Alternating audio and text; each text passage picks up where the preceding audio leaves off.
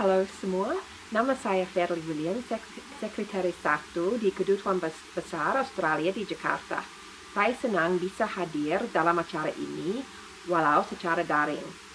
Kegiatan hari ini merupakan bagian dari proyek Ibu Tri Wismirasi yang mendapatkan hibah di bawah program Alumni Grant Scheme atau AGS yang didanai oleh pemerintah Australia. Ibu Tri sebagai alumni Australia adalah contoh nyata dari hubungan kerjasama antara Australia dan Indonesia. Di bawah program Australia Awards, Ibu Tri berhasil mendapatkan men- mendapatkan gelar Doktor PhD untuk studi International Business di Monash University, Australia. Ibu Tri kemudian berhasil menerima, menerima dana AGS untuk proyek beliau berjudul Strengthening Women and Youth Fisher, Fisherfold Livelihoods During COVID-19 Pandemic.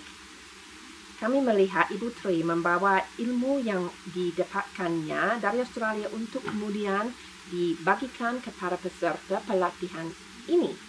Beliau memperkenalkan kepada nelayan muda tentang konsep wira usaha, strategi pemasaran digital dan usaha kecil menengah UKM. Ibu Tri juga mendukung peningkatan kapasitas perempuan di Kabupaten Cirebon untuk mengelola kepiting segar menjadi produk yang siap dipak oleh pabrik atau dijadikan bahan dasar untuk produk-produk makanan lainnya. Saya berharap para peserta hari ini, baik dari anggota Sekretariat Nelayan Indonesia di Kabupaten Cirebon atau petani rumput laut di Sulawesi Selatan, dapat memaksimalkan kesempatan ini untuk meningkatkan pengetahuan dan kemampuan dalam mengelola produksi hasil laut serta memasarkan produk mereka secara online.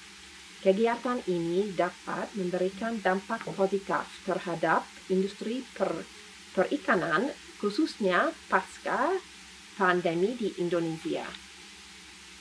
Sejak 2014, Australia telah mendukung 257 proyek alumni di seluruh Indonesia. Ada 27 proyek alumni yang dilaksanakan di Jawa Barat, termasuk salah satunya proyek Ibu Tri di Cirebon. Selama beberapa dekade, kemitraan antar pemerintah Australia dan Indonesia serta hubungan orang ke orang antara kedua negara telah terjalin baik dan kuat dalam berbagai bidang termasuk ekonomi, perdagangan, budaya, dan pendidikan. Saya juga sangat menghargai dukungan dari tiga kementerian dan pemerintah daerah dalam membantu kesuksesan proyek AGS ini.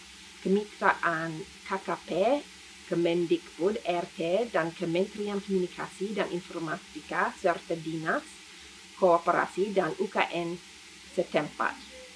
Kerjasama ini tentu untuk memastikan bahwa pelaksana pro, pelaksanaan proyek ini minum kendala. Oh sorry, minim kendala.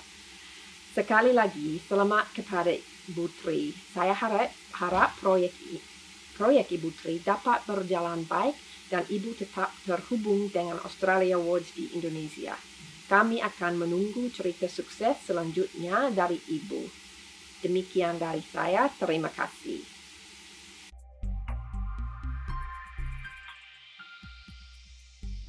Assalamualaikum warahmatullahi wabarakatuh. Waalaikumsalam. Salam sejahtera bagi kita semua.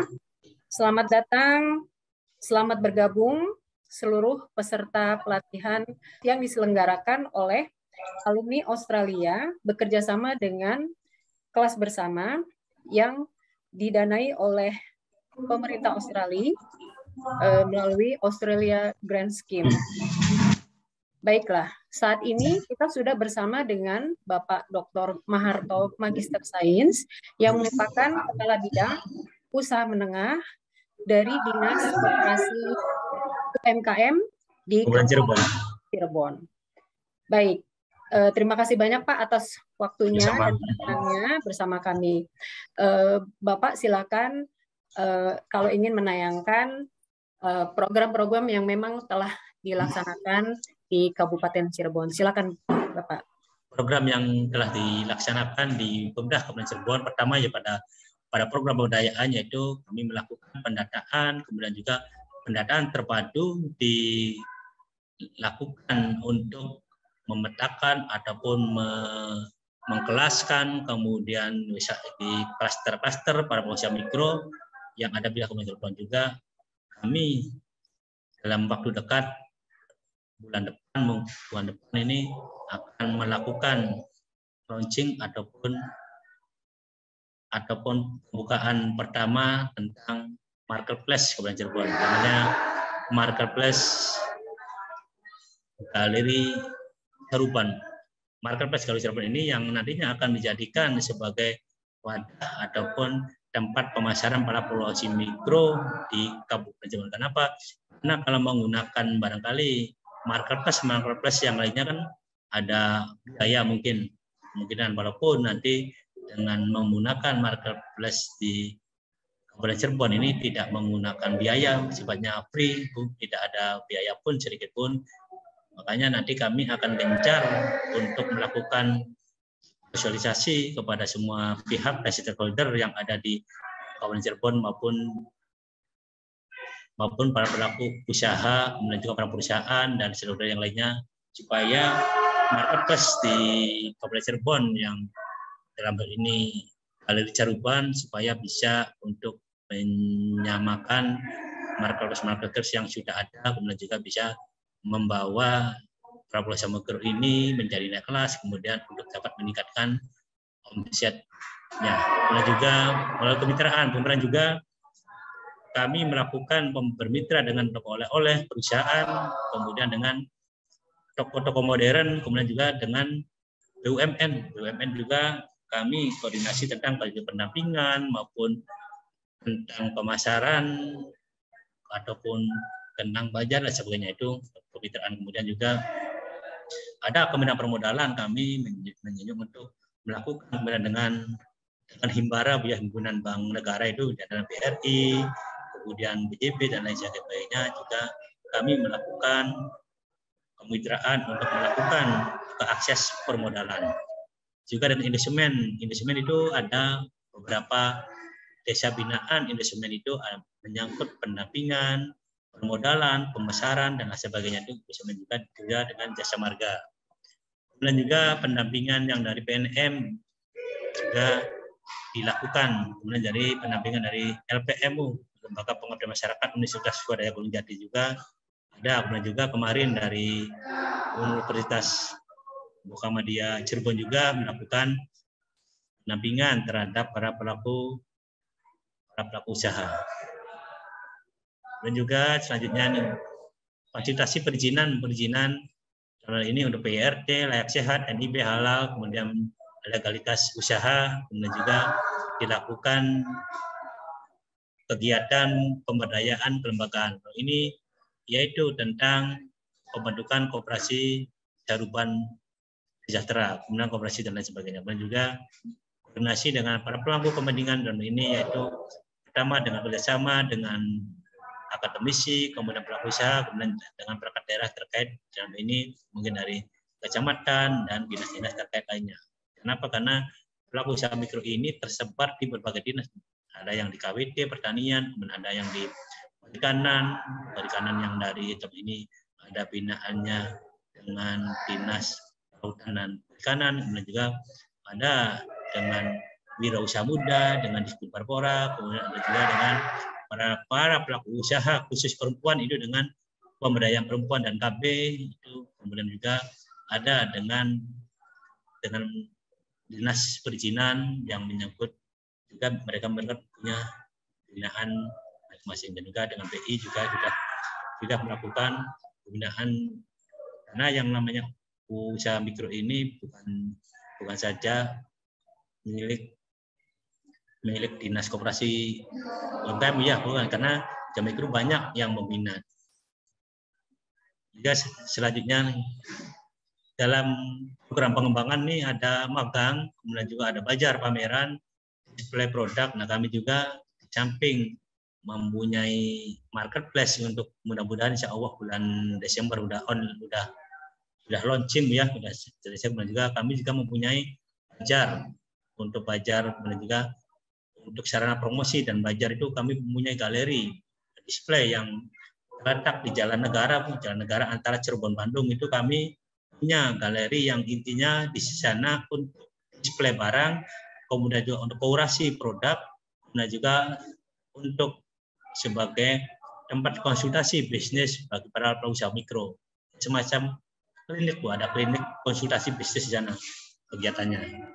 Itu kami mempunyai rintisan untuk konsultasi bisnis di Kabupaten Cirebon supaya para pelaku usaha mikro ini mau menanyakan tentang halal, kemudian menanyakan tentang merek, kemudian tentang kemasan, kami sudah menyiapkan usaha. Tapi untuk sementara ini kegiatannya belum di disupport atau belum di apa belum maksimal. Kenapa? Karena baru baru ada beberapa orang yang dengan sukarela melakukan pendampingan di galeri tersebut.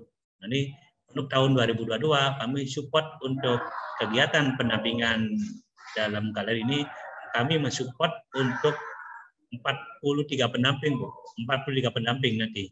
43 pendamping ini yang pendamping koordinator itu ada tiga nanti sebagai sentral yang ada di Kabupaten Cirebon, kemudian yang 40-nya itu menyebar di berbagai di 40 kecamatan.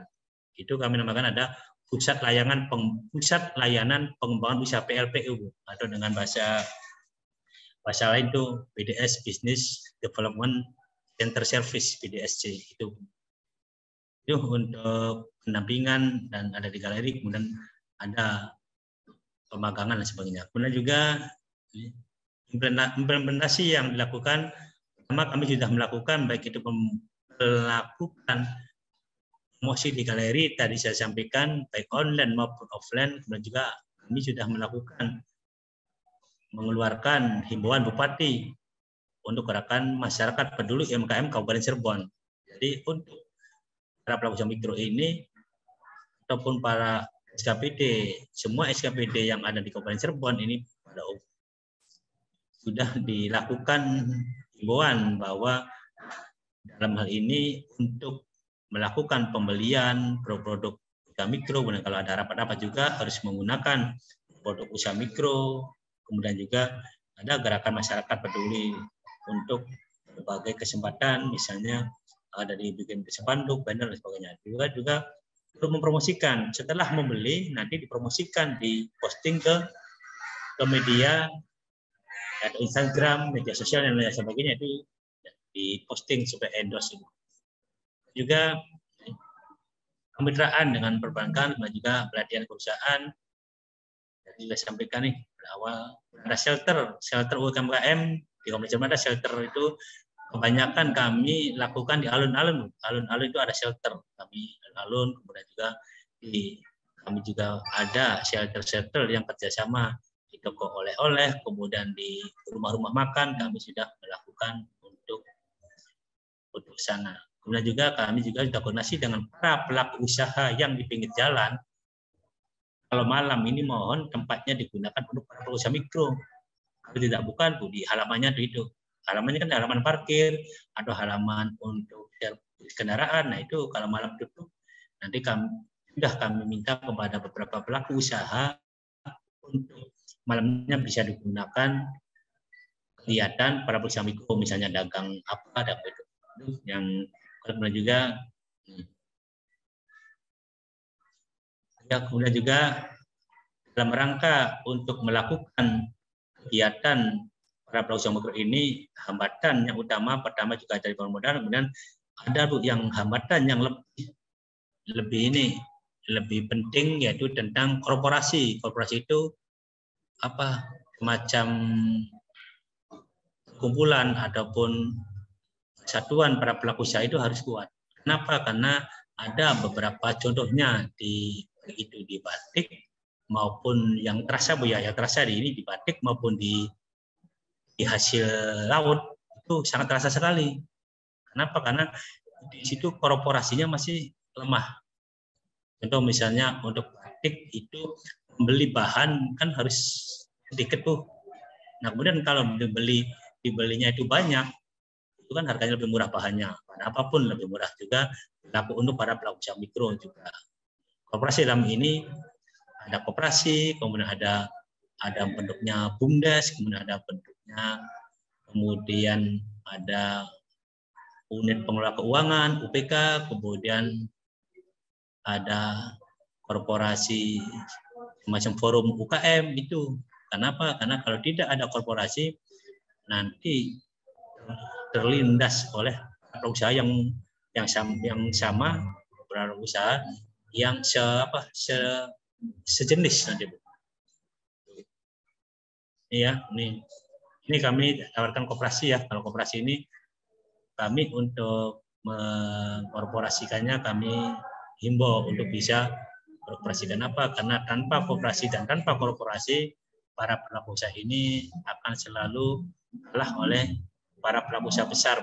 Nah, dengan bergabungnya para pelaku usaha kecil, usaha mikro ini ya mudah-mudahan para pelaku usaha bisa mengimbangi mengalahkan mungkin tergantung situasi dia. Tapi kalau minimalnya bisa mengimbangi para pelaku usaha untuk bisa kuat dan mandiri dan berdaya saing gitu.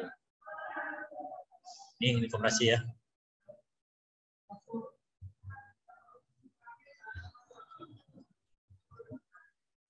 Nah juga nih yang selanjutnya akan kami sampaikan bahwa dalam koperasi ini supaya nih ada ada kegotong royongan, tanggung jawab, keadilan, ada demokrasi, kemandirian, kebersamaan, kekeluargaan dan lain sebagainya ini demokrasi kemudian juga ini untuk yang tadi disampaikan bahwa dalam kegiatan ini yang kami dalam mencapai tujuannya yaitu untuk masyarakat sejahtera yaitu melalui pemberdayaan kooperasi dan pemberdayaan pelaku usaha mikro.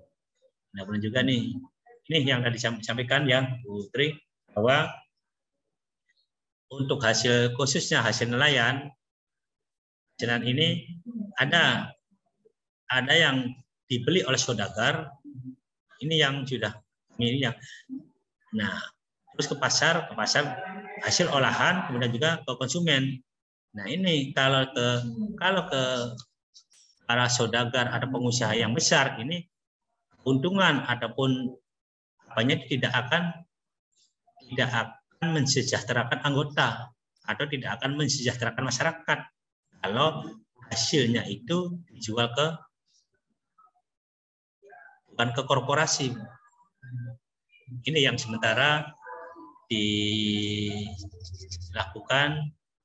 di pada umumnya di para pelaku usaha nelayan. Ya, nih ini Bapak sekalian untuk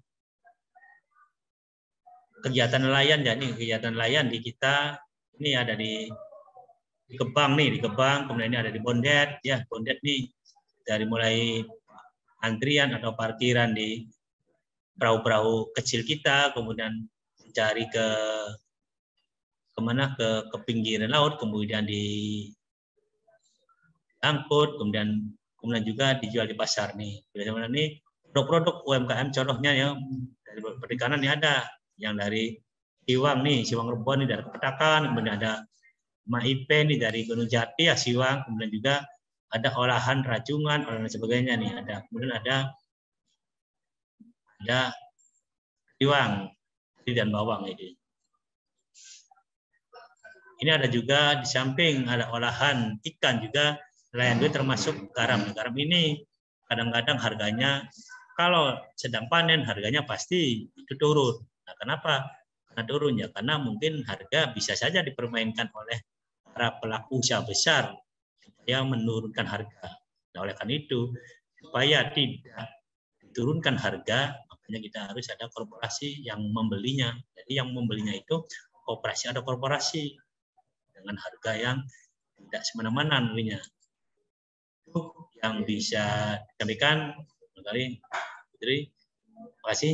Mohon maaf karena ada beberapa hal yang kurang berkenan. Terima kasih. Wassalamualaikum warahmatullahi wabarakatuh. Terima kasih banyak Pak atas pemaparannya. Terima kasih ya. banyak atas penjelasannya tadi. Jadi eh, kita semua sudah mendengar bagaimana eh, upaya-upaya yang sudah dilakukan oleh Dinas Koperasi dan UKM di Kabupaten Cirebon. Nah, hmm. mungkin teman-teman di sini eh, tertarik Pak, bagaimana caranya bisa memanfaatkan katakan misalnya tentang eh, apa fasilitas pendampingan gitu Pak, mungkin yang eh, memang disediakan oleh eh, dinas gitu. Nah, bagaimana mereka bisa bisa mendapatkan atau bisa memanfaatkan ya eh, apa tadi fasilitas pendampingan misalnya Pak. Gimana Pak? Apakah mereka harus membentuk kelompok dulu atau secara individu bisakah mereka memanfaatkannya? Baik, terima kasih Pak. Silakan. Ya, terima kasih Putri. Jadi untuk pendampingan yang kami lakukan nanti untuk di tahun 2022 ya insya Allah mudah-mudahan itu laksana Bu ya, mudah-mudahan laksana karena, karena kalau belum ya hanya sudah persidangan sudah selesai, persidangan sudah partai di Dewan sudah masuk dan juga tinggal nanti ketok palu untuk tahun 2022 dan pendampingan ini. Walaupun kami ada apa pun tidak ada anggaran juga kami melakukan pendampingan. Yang untuk sementara ini kami lakukan di galeri. Dalam galeri UMKM itu ada di daerah tengah tani dalam negara antara Cirebon Bandung tuh. Tengah yang lokasi tepatnya itu samping Empal Haji Apun sampingnya tuh. Itu. Itu nanti sebagai pusat sementara yang dilakukan sebelum adanya pendamping yang 40 itu para silakan para pelaku usaha mikro untuk melakukan konsultasi, koordinasi dan sebagainya. Nah, di situ kemarin itu dijadwalkan hari Rabu dan Sabtu kemarin dijadwalkannya. Kalaupun misalnya tidak ada hal-hal yang ada berhalangan itu hari Rabu dan Sabtu. Juga untuk kegiatan yang 2022 ini pendamping yang ada di kecamatan sejumlah 40, nanti para pelaku usaha mikro ini nanti bisa berhubungan dengan para pendamping masing-masing. Yang nantinya itu pada masing-masing juga akan akan dibekali tentang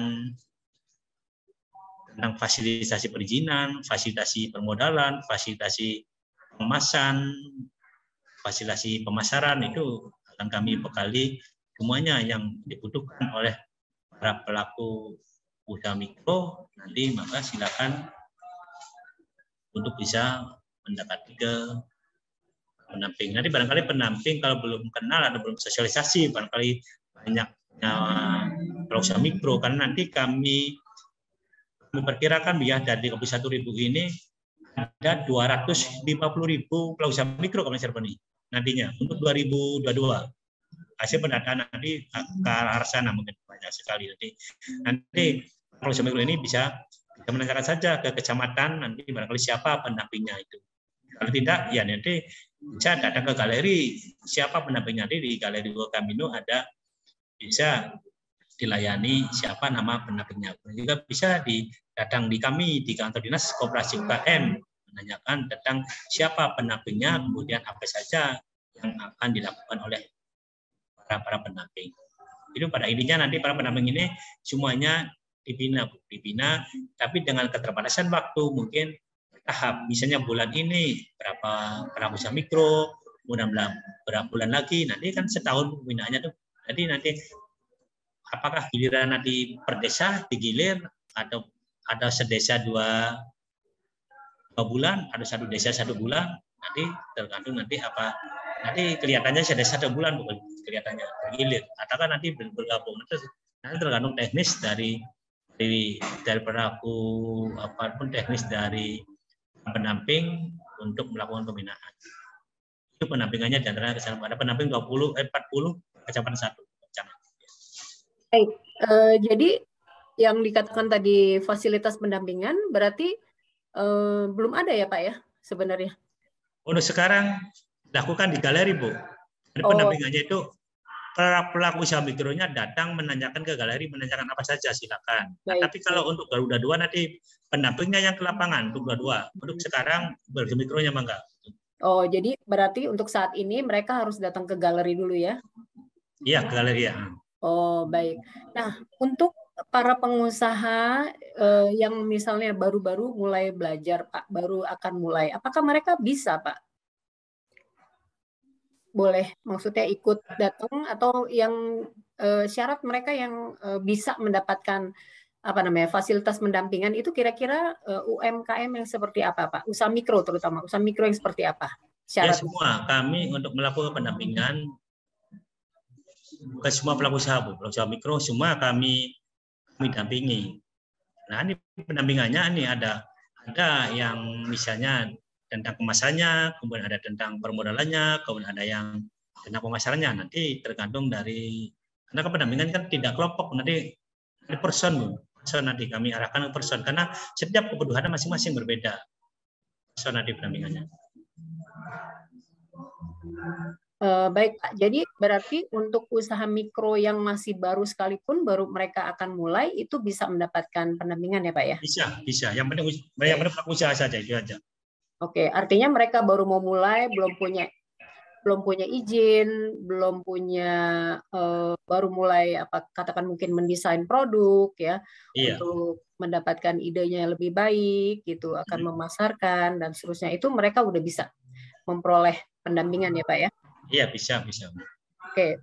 Berarti mereka tidak perlu tergabung di dalam koperasi gitu, Pak? Iya, kalau yang namanya antara koperasi dengan perusahaan mikro ini dua sisi mata uang yang berbeda tetapi satu satu ini bu satu satu uang. Jadi untuk meningkatkan daya saing para perusahaan mikro itu harus ada korporasi itu untuk meningkatkan daya saing. Kalau untuk pendampingan itu tidak tidak ada kaitannya dengan korporasi tidak untuk pendampingan.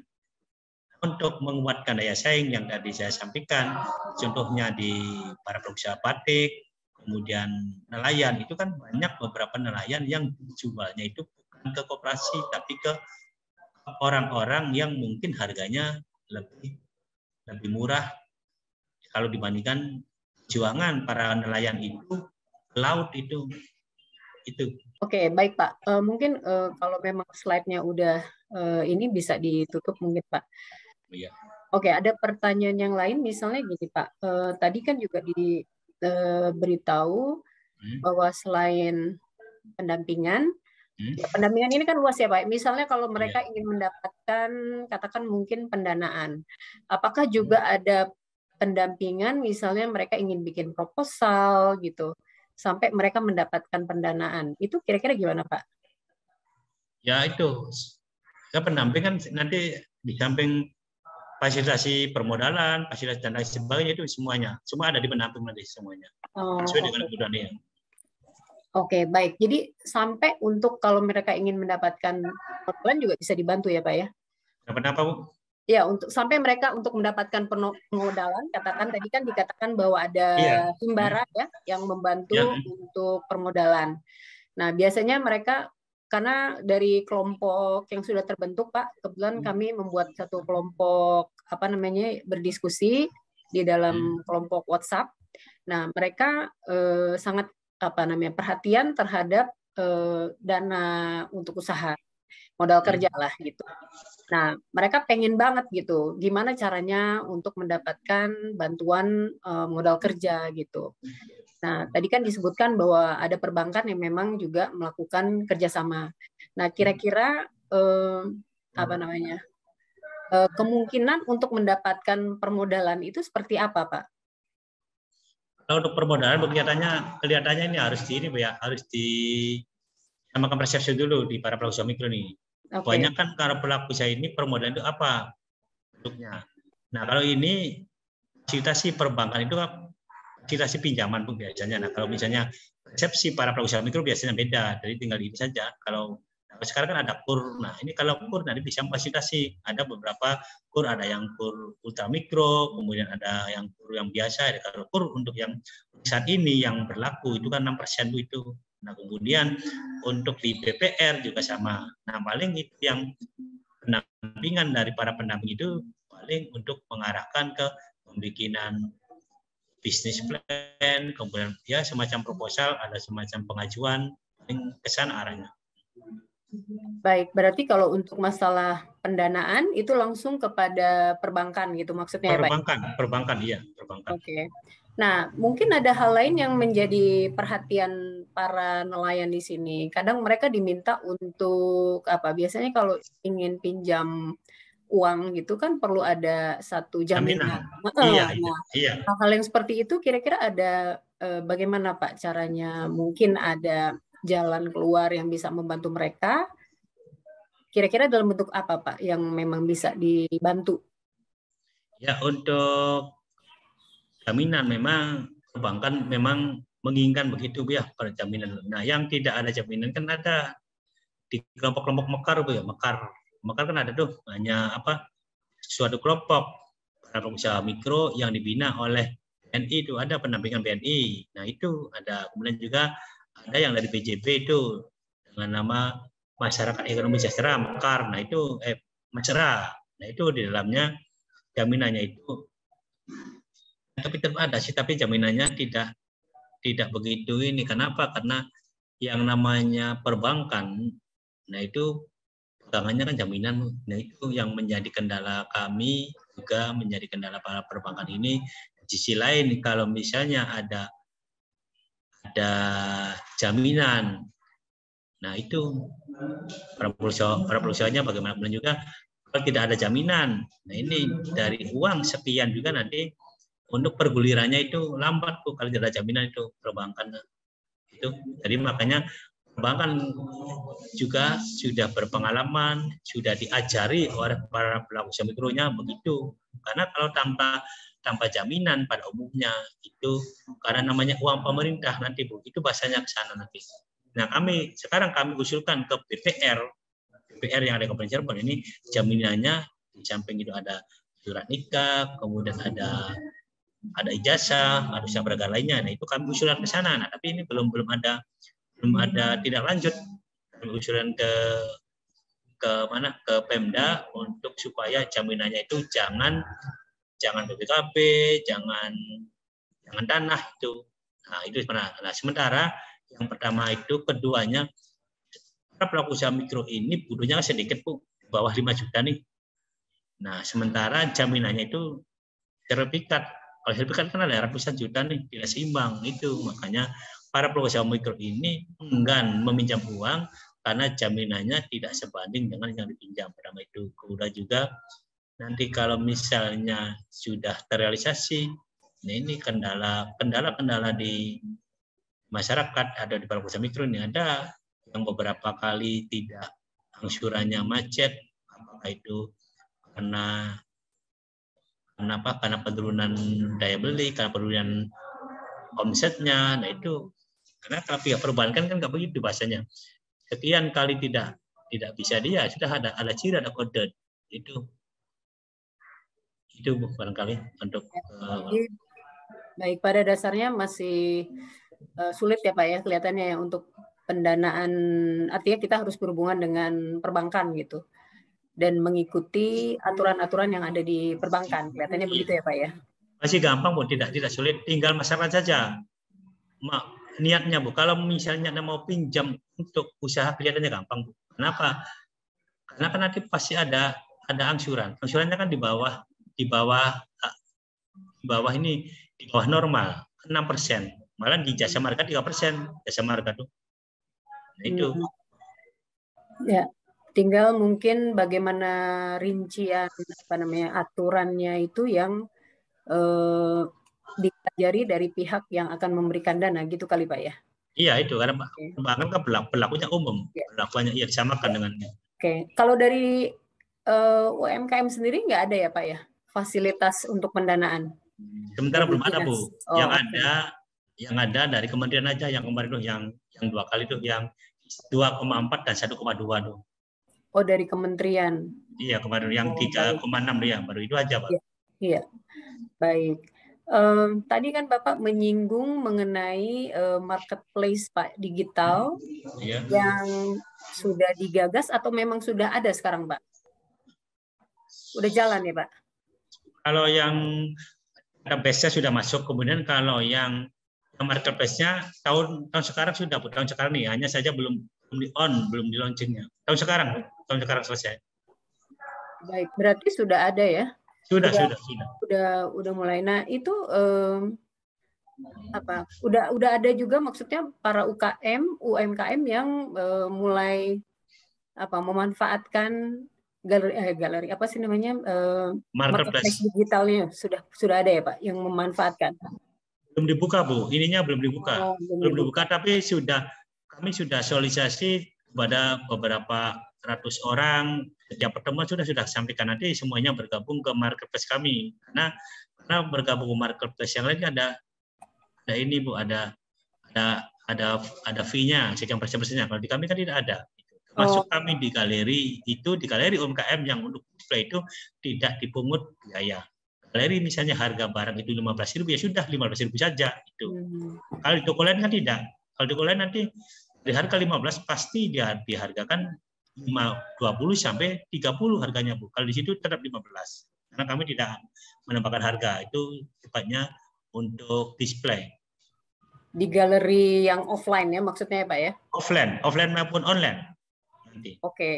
yang online ini tapi masih belum atau udah ada di galeri sudah ada kalau yang di galeri ya Pak ya? Galeri yang oh, online. Galeri itu online. kami kerjasama dengan dengan biro dengan ekspedisi Bu kalau yang di sini yang yang di galeri. Tapi saya ada orang pesan melalui galeri melalui display kami, galeri kami ya nanti diantar langsung uh, ekspedisi itu. Hmm, itu yang online ya Pak, galeri online berarti? Online offline kalau di sini, tapi oh. kalau online-nya itu melayani, melayani kalau ada orang pesen nanti dikirimkan Baik. langsung online. Iya.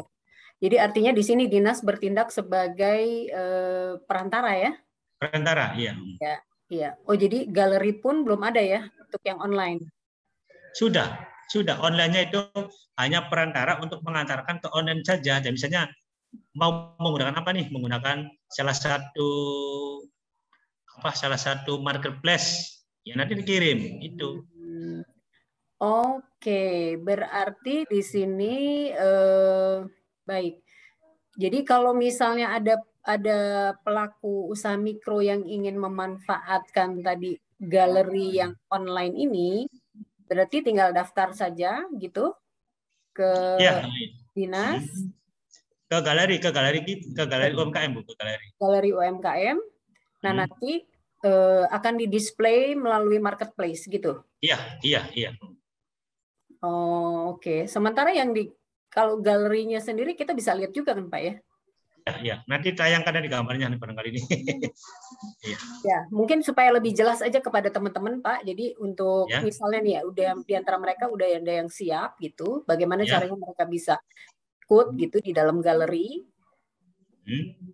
Nah, kemudian eh, ya kalau emang bisa mereka manfaatkan, jadi mereka tinggal eh, kontak aja galeri. Iya. Dan dari situ nanti eh, apa namanya akan disalurkan lagi ke marketplace gitu ya Pak. Betul nggak Pak? Iya, iya, iya. Hmm. Apa ada ini ya Pak gambarnya mungkin bisa di apa bisa ditayangkan? Ada nggak Pak? Nggak ada ya Pak? Apa, Bu? Oh ini. Tentang galeri. Uh -uh, ya, ya, bentar. Iya. Ini ya galeri, galeri kita nih di ya kalau kalian nih. Iya. Jadi kan ini offline ya Pak ya? Iya offline ya offline. Hmm. Offline-nya Bu ya, berarti yang ini offline-nya. Ya. ya. ya. Nah, offline. Ya. Nah, kemudian kalau tadi yang Bapak singgung sebagai galeri yang online tadi, bagaimana memanfaatkannya tadi Pak? Jadi kan yang online ada nggak Pak? Yang online untuk yang 2021, 2022 nanti ada Bu ya, nanti oh, disampaikan.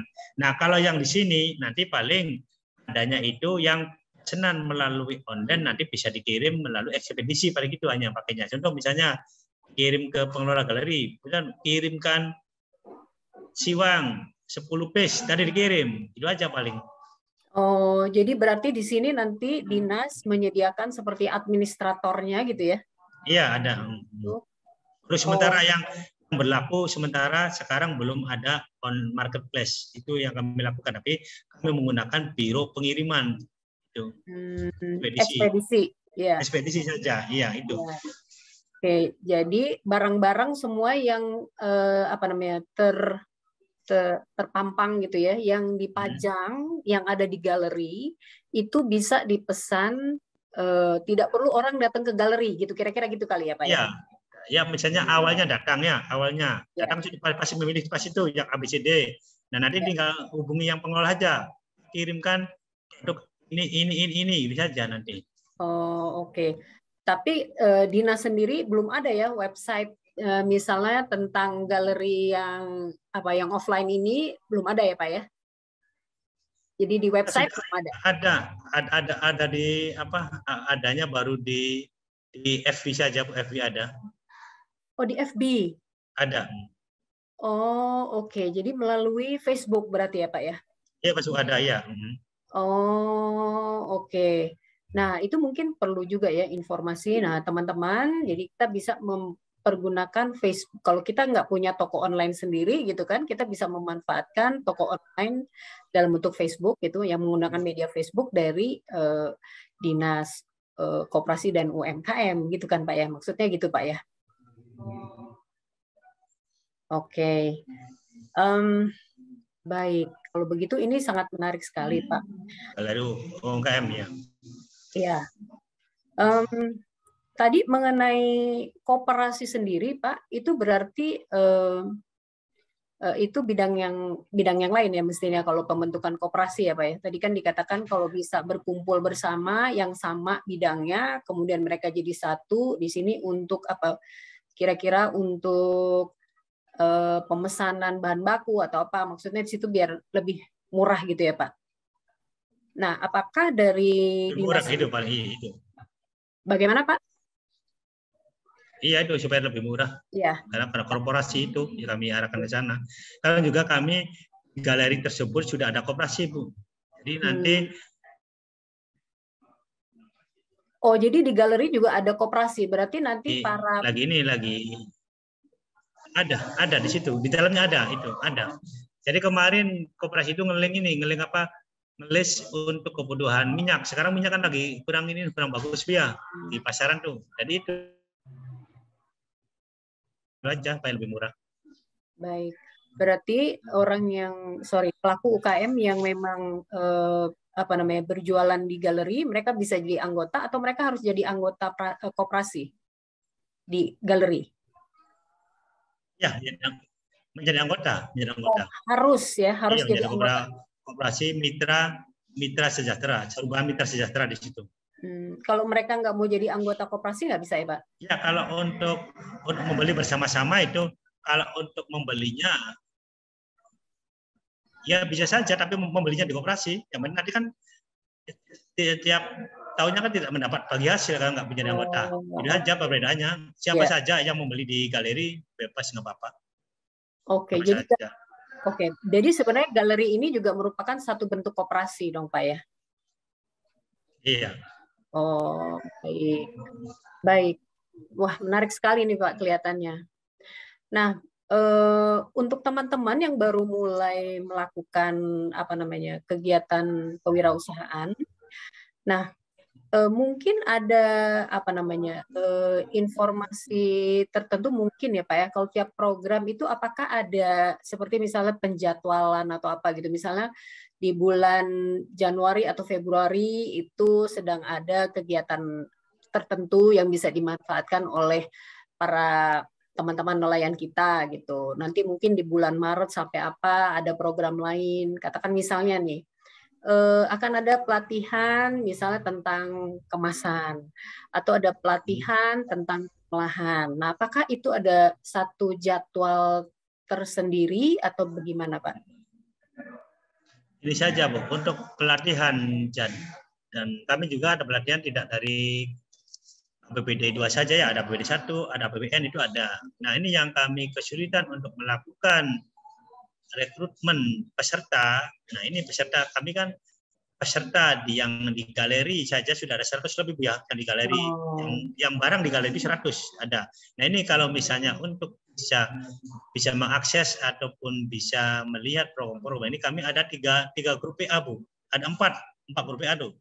Ada di grup galeri yang isinya ada 150 orang nih yang Hmm. yang notabene barangnya ada di galeri. Ini yang kemudian di anggota yang grup koperasi itu ada galeri plus ya Bu, 50 150 ribu plus kemudian ada di forum Forum hmm. UMKM ada. Forum kami itu ada 250 yang satu grup itu ada dua grup itu. Nah, misalnya untuk mengakses itu, kalau kami mencari-cari siapa yang mau mau pelatihan, nanti kami kesulitan. Makanya silakan saja bergabung di grup galeri, kemudian menitipkan produknya di galeri dalam satu apa satu komunitas. Titip aja nanti bisa akses nanti.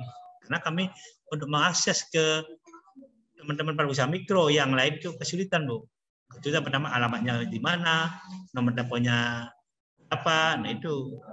Itu paling kalau okay. bisa untuk itu Baik, jadi pada dasarnya dengan kita ikut aktif terlibat di dalam galeri, contohnya gitu Pak ya, di dalam uh, koperasi yang memang dimiliki oleh uh, pemerintah di sini dinas ya Pak ya, maka uh, para teman-teman pelaku uh, usaha mikro itu akan bisa mendapatkan berbagai apa selain informasi, tetapi juga Eh, fasilitas-fasilitas yang memang diberikan oleh pemerintah. Kira-kira gitu ya Pak ya, baik apakah itu berupa pelatihan, pendampingan, karena mereka sudah tercatat gitu di dalam uh, daftarnya dari dinas, benar nggak Pak? Ya Bu, tidak, tidak, tidak itu. Pada kami tidak membeda-bedakan, tidak ada dikotomi antara yang di galeri, yang di koperasi atau yang di komite tidak. Hanya informasi mungkin lebih tahu ada di galeri informasinya saja itu. Kalau siapa pun yang mengakses misalnya tahu ada pelatihan dari kementerian, siapa pun yang tahu nanti kami akomodir. Tidak hmm. tidak melulu yang ada di galeri, yang ada di grup enggak. Kami Betul. tidak ada di, tidak ada dikotomi ke sana tidak. Yang penting siapa pun masyarakat Kabupaten Cirebon pelaku usaha mikro yang ingin melakukan pelatihan silakan saja asalkan mendaftar mendaftar itu oh, misalnya tahu ya ada nih oh, ada program dari kementerian program untuk pelatihan. Kalau misalnya mereka mau mendaftar, lagi itu masih memungkinkan jumlah kuotanya ya kami akomodir tidak tidak harus yang ada di galeri tidak. Baik. Jadi terbuka untuk siapa saja akan ya, tetapi ya, siapa dengan, saja. Ya, akan tetapi dengan berada ya di galeri uh, informasi itu akan jauh lebih cepat diperoleh ya. Dengan demikian ya mungkin, hanya hanya masalah informasi saja ya. bukan masalah membedakan yang kalian bukan hanya informasi saja lebih cepat. Ya tapi kan yang namanya dapat informasi itu juga nggak gampang kan pak ya? Artinya akan jauh ya paling itu. Ya itu itu. Kami arah ke sana tapi kami tidak menyampaikan bahwa yang ada di galeri saja pelatihan tidak. Semua warga usaha mikro kabupaten Cirebon semua semuanya berdudukan sama bu. Berdudukan sama untuk melakukan akses apa pun di kabupaten Cirebon sama kedudukannya. Tidak ada yang titip di galeri, yang ada koperasi tidak tidak tidak ada. Hanya saja kemungkinan kalau informasinya hanya dua orang, yang mungkin yang tahunya lebih dulu biasanya. Tapi yang lebih dulu juga misalnya yang tahunya yang di luar hari ini misalnya ada akses tahu duluan ya silakan saja tidak ada masalah karena biasanya kalau yang pelatihan dari kementerian biasanya dadakan ya dadakan itu apa ya kadang-kadang ada yang mendaftar langsung kami bahwa minggu depan ada pelatihan kami belum tahu. Tapi mereka ada beberapa orang sudah tahu dia emang kami akomodir nggak apa-apa berapa orang silakan. Itu baik terima kasih banyak pak. Nah kira-kira ya. pesan uh, khusus untuk para pelaku uh, usaha mikro terutama bagi para uh, pelaku uh, pemuda nelayan di sini yang baru akan memulai pak. Hmm. kira-kira uh, pesan untuk mereka apa pak agar supaya mereka terus yep. ya mau berupaya. Silakan Pak. Pelaku bisa. usaha mikro di Kabupaten Cirebon ini ya dimohon pertama untuk bisa meningkatkan kualitas produknya, kemudian juga dalam hal ini baik itu kemasan maupun mutu dan sebagainya itu meningkatkan produk. Kemudian juga agar supaya untuk meningkatkan pemasarannya baik dari offline maupun online. Nah, kami juga untuk pemasaran online maupun offline itu silakan. Yang penting ada online ada offline. Tidak harus online semua. Yang penting ada offline, ada online itu seimbang. Dua-duanya harus dilakukan. Kemudian juga yang selanjutnya untuk jangan sampai berhenti berinovasi. Kenapa? Yang namanya produk itu setiap tahun, setiap saat itu harus selalu berubah karena permintaan konsumen itu apa keinginan setiap detik pun itu sangat-sangat dan sangat berubah sekali. Kenapa? Karena pelaku usaha ini harus bisa membaca situasi ataupun membaca gejala-gejala yang ada di masyarakat maupun dengan kondisi alam, kemudian kondisi perekonomian ini harus bisa ditangkap supaya untuk meningkatkan usahanya. Kemudian juga yang terakhir juga dimohon untuk semuanya juga harus berkorporasi. Korporasi. Ini kami sampaikan tidak tidak harus koperasi tidak harus. Yang penting korporasi aja dulu. Korporasi itu ada baik itu para koperasi ataupun forum-forum ataupun kelompok-kelompok itu memang harus ada kelompok. Kenapa kenapa karena untuk bisa menyaingi mengimbangi daya saing dari para pelaku usaha yang lebih lebih mapan itu harus kita berkorporasi. Karena kalau satu-satu ini kita ada kadang-kadang ada bisa terpecah-pecah nanti bisa saling menurunkan harga. Contoh misalnya di nelayan ini harga ikan itu tadinya 50 satu kilo bisa saja dijatuhkan menjadi 30. Makanya harga harga yang ada di wilayah kami di Pleret Bu, di Pleret itu harganya jauh lebih murah dengan harga yang di daerah asal. Kenapa saya juga tidak tahu apa tuh ini alasannya. Kenapa? Karena mungkin di daerah sini yang jauh dari laut ya mungkin membelinya banyak kayak kayak kelihatannya. Tidak sekilo dua kilo mungkin satu mobil membelinya. Makanya harganya di wilayah kecamatan Pleret harga ikan itu lebih murah dibanding dengan yang di sana itu. Nah itu saya amati ya kelihatannya karena korporasi membelinya banyak. Itu itu makanya kita harus berkooperasi untuk bisa meningkatkan daya saing para pengusaha mikro kemudian untuk untuk bisa meningkat meningkatkan aset maupun omset perguruan mikro dan untuk bisa meningkatkan kesejahteraan keluarga, meningkatkan kesejahteraan masyarakat, dan untuk bisa memulai pendapatan yang lebih tinggi. Terima kasih, Bu. Baik, terima kasih banyak atas informasinya, penjelasan maupun pemikirannya dari Pak Maharto. Hmm kami senang sekali bisa mendapatkan penjelasan panjang lebar dari Pak Maharto. Mudah-mudahan sama-sama ya. Ya, mudah-mudahan nanti kalau teman-teman masih butuh penjelasan yang lain, Bapak masih bersedia kami kontak ya, Pak ya. Ya, yang lain di-share aja nomor telepon saya barangkali ada yang perlu Baik. ada yang perlu saya mangga. Baik. Terima kasih banyak, Pak. Selamat sore. Sama-sama. Makasih. Ayo, Assalamualaikum. Assalamualaikum warahmatullahi wabarakatuh. Salam sejahtera, Pak.